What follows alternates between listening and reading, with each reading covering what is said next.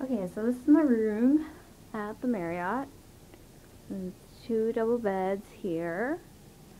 This is the Marriott Courtyard in Oakland. And the really cool thing is that I've got a great view of San Francisco.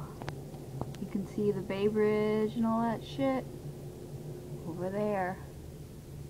Oh, mountains and stuff.